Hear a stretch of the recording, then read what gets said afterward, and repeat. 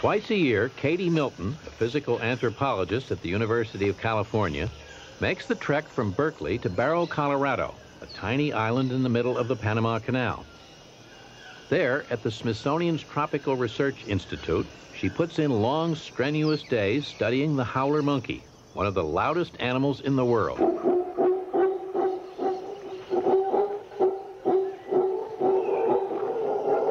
At Barro, Colorado, animals roam free in a true rainforest. Katie Milton gets a rare opportunity to study them up close as they exist in the wild. Howler monkeys will howl at any time of day, but there are certain times of day that are far more predictable than other times. And it's really to everyone's advantage in a troop to give the appearance of being a very strong, powerful troop. So everyone gets together and they chorus in the morning and they give this dawn chorus. And as soon as one troop begins to howl, any other troops that are in the auditory range of this troop will howl back. And the sound gradually travels over the whole island. And if you're in a place where you have uh, good ability to hear uh, over a wide area, you can hear the sound just come sweeping through the forest as one troop begins and starts the next troop and starts the next troop and so on.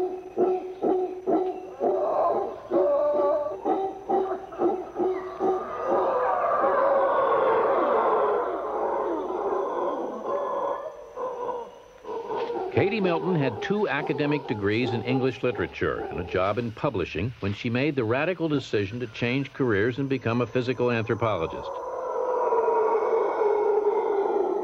She believes her background in literature gives her a fresh approach to scientific research. I didn't have so much mindset.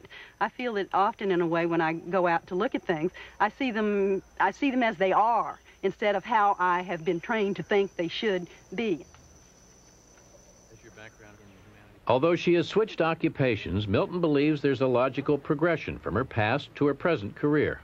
How does one go from English literature to tracking howler monkeys on Barro, Colorado Island?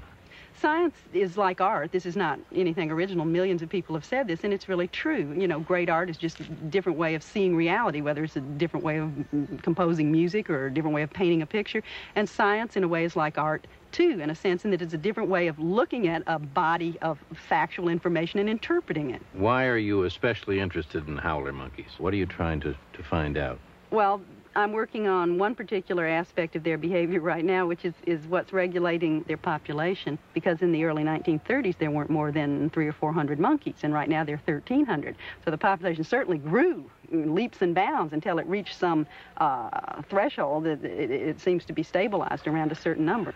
What I think happens, and what my data suggest happens, is that especially younger animals, juvenile animals, uh, suffer a very high mortality.